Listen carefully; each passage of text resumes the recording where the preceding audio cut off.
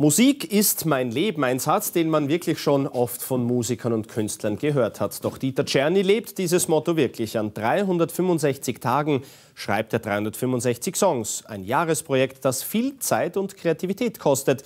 Tag für Tag ein neues Lied und das alles nur zum Spaß. Nein, ganz einfach aus Liebe zur Musik. Hallo Austria News, ähm, das ist Tag Nummer 214 und äh, der Song von heute heißt Sitting in the Dark, ein Song in Englisch und ja, viel Spaß damit.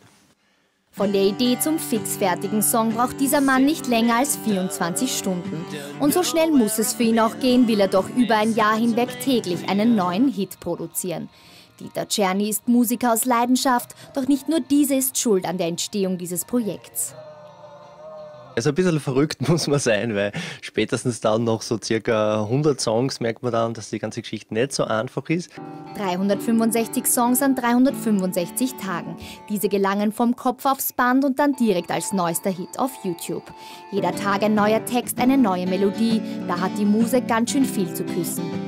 Teilweise sind es einfach äh, Eingebungen, man setzt sie hin und dann fällt was ein. Also jeder Künstler kennt das, glaube ich, wurscht, wo er das macht. Mittlerweile ist Dieter Czerny mit seiner Idee schon Kult. Auch auf der Straße ist man vom Talent des Ausnahmemusikers begeistert. Gut, ja. Ich finde es ich find's gut. Mir taugt's.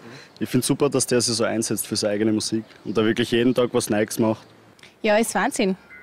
Hut ab, hätte ich gesagt. Wer selbst zu wenig Talent hat, um Songs zu schreiben, kann bei Dieter Czerny einen in Auftrag geben. Das Tolle, die Lieferung der Ware dauert sicher nicht länger als 24 Stunden.